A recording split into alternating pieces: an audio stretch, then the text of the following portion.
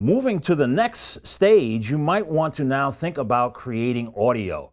So what I'm going to do is I'm going to go to the project and I'm going to add an audio track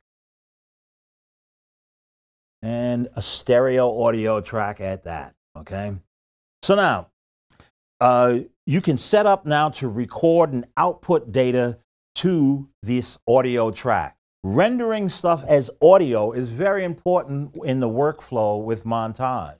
Um, what it does, it allows you to reuse your hardware because what you're doing here is you have a synthesizer.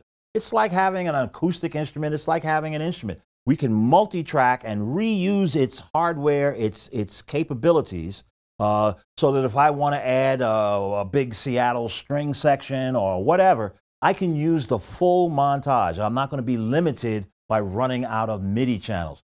Rendering audio is part of the workflow. The 32 digital outputs makes this a breeze.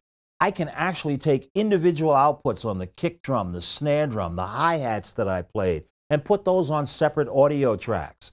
Why would I do that? Because I might want to process those separately. So each project might have a different workflow. What you want to do is get comfortable with the different kinds of things you can do between the montage and your DAW. So it's a very powerful system. There is no one way to work. You kind of have to figure your best way. Each project could invent a new way for you to work. So in other words, uh, I mentioned that I could take the kick drum and send it to a separate audio output. I could take the snare and put it on a separate output.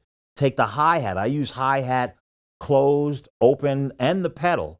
I might want to route those to a single um, output. All right, I don't need to have you know open hi hat separate from the closed hi hat necessarily. Or if I played tom toms, I might route those to a stereo uh, track so that I could maintain the panning. Now you would take something to a separate audio output if you plan to process it differently in your DAW. You don't really gain anything by having it on a separate audio track unless you're going to process it separately and do something different. So once again, you know, it's one of my themes. There's never one way to work. It's always predicated on what you want to accomplish because it's your music production.